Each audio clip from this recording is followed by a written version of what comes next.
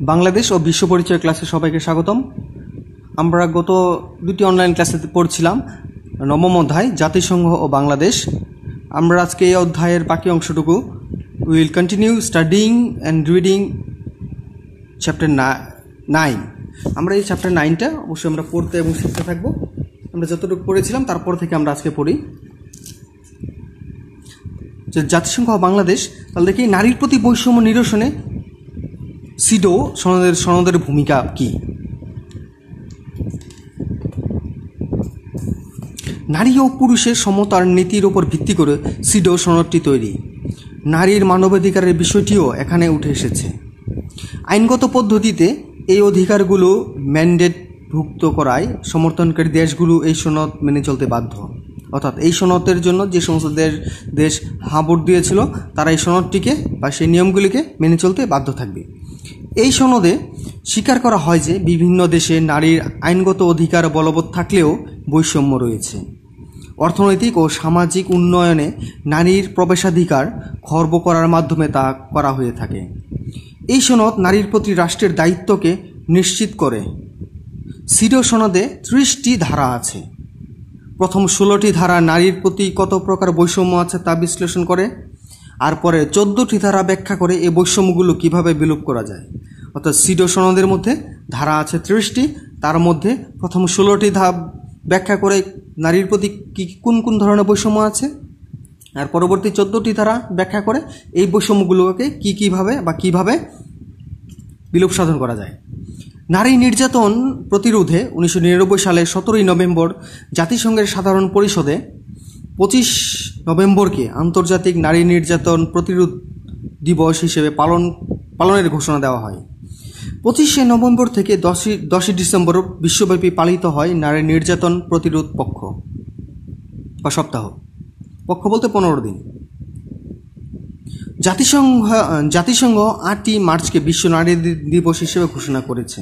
তাহলে আমরা জানলাম বিশ্ব নারী দিবস হলো আটই মার্চ। নারীর উন্নয়নের জন্য জাতিসংঘ জন, জন্মলগ্ন থেকে অনেক কাজ করে আস, করেছে এবং নারীদের অবস্থানকে অনেক উন্নত করেছে। তাহলে এখন আমরা দেখব জাতিসংঘে বাংলাদেশের শান্তিরক্ষা বাহিনীর ভূমিকা। অর্থাৎ যে পৃথিবীর যে সমস্ত দেশে যুদ্ধ বিগ্রহ, নিজেদের দেশে সিভিল ওয়ার চলছে, সেই সমস্ত দেশে জাতিসংঘ অন্তর্ভুক্ত দেশগুলো থেকে, বিভিন্ন দেশগুলো থেকে শান্তির বাহিনী শান্তিরক্ষা বাহিনী পাঠানো হয়। তারা ওইসব দেশে যায় এবং সেসব দেশে শান্তি বজায় রাখার জন্য কাজ করে থাকে।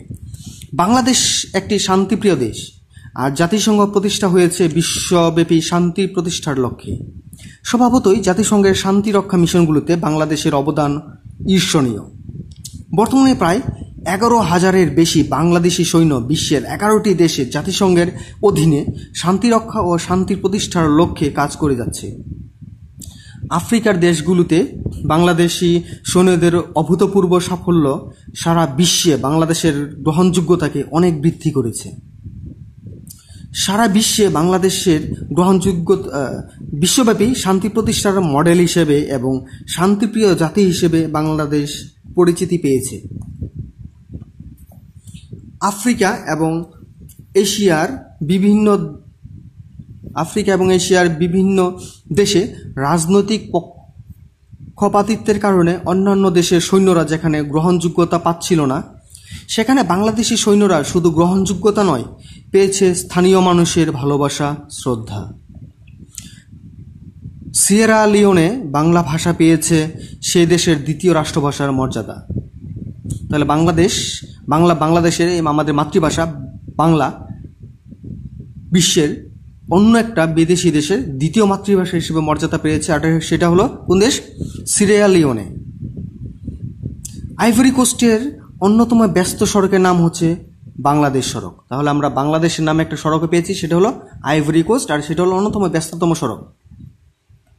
শান্তি মিশনে শুধু বাংলাদেশ সেনাবাহিনী নয়, পাশাপাশি পুলিশ বাহিনী ও মহিলা পুলিশেও নিয়োজিত আছেন। তাদের অক্লান্ত পরিশ্রমের ফলে জাতিসংঘে তথা বিশ্বে বাংলাদেশ পেয়েছে ব্যাপক পরিচিতি ও বিশেষ মর্যাদা। জাতিসংঘের শান্তিরক্ষা মিশন সহজ ছিল না। আফ্রিকা ও এশিয়ার দেশগুলোতে যুদ্ধদেহী দুই বা ততোধিক সশস্ত্র গেরিলা গোষ্ঠীর মাঝে দাঁড়িয়ে বাংলাদেশি সৈন্যরা অত্যন্ত দক্ষতার সাথে অস্ত্রবিরতি পর্যবেক্ষণ করছে। শান্তি। শান্তি প্রতিষ্ঠায় কাজ করছে, করেছে। এই কাজে এখন পর্যন্ত অষ্টাশি জন অষ্টাশি জন বাংলাদেশি সৈন্য বিশ্ব শান্তির জন্য শহীদ হয়েছেন। তাহলে শান্তিরক্ষা মিশনে গিয়ে বাংলাদেশে কতজন সৈন্য শহীদ হয়েছেন? এইটি এইট অষ্টাশি জন। আহত হয়েছেন অনেকে বাংলাদেশি সৈন্যরা প্রমাণ করেছে শান্তির জন্য তারা জীবন দিতে প্রস্তুত। বাংলাদেশ মধ্যমায়ের দেশে দেশের পথে অধিকন্তু এর আছে বিশাল জনগোষ্ঠী। বিশাল জনগোষ্ঠীর প্রশিক্ষিত সামরিক বেসামরিক বাহিনী বিশ্ব শান্তির বিশ্ব শান্তি রক্ষার জন্য জাতিসংঘের মাধ- মাধ্যমে অবদান রাখছে। উন্নত দেশগুলো অর্থ দিয়ে জাতিসংঘে অবদান রাখছে। বাংলাদেশ তার সেনাবাহিনী ও পুলিশ বাহিনীর মাধ্যমে বিশ্ব শান্তি রক্ষায় রেখেছে এক অনন্য অবদান। বৃদ্ধি করেছে দেশের মর্যাদা ও গৌরব। এখন স্টুডেন্টস আমাদের জন্য একটা বাড়ির কাজ থাকবে। সেটা হলো কি, এই বহু নির্বাচনী প্রশ্নগুলো page number one thirty four one three four একশো চৌত্রিশ পৃষ্ঠায় যে বহু নির্বাচনী প্রশ্নগুলো আছে, এক থেকে শুরু করে এই তিন পর্যন্ত এই বহু নির্বাচনী প্রশ্নগুলো যেটি সঠিক উত্তর আছে, সেটি আমরা টিক দিব।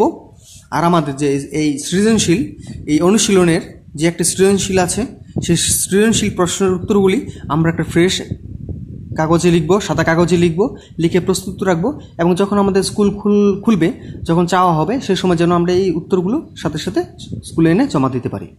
থ্যাংক ইউ স্টুডেন্টস আমরা চার ইউনিট চ্যাপ্টার নাইন এই নবম অধ্যায়টি আমরা আরেকবার পড়ব এবং খুব সুন্দরভাবে এই সৃজনশীল প্রশ্নের উত্তরগুলো লিখে আমরা পরবর্তীতে স্কুলে এনে জমা দেব। Thank you students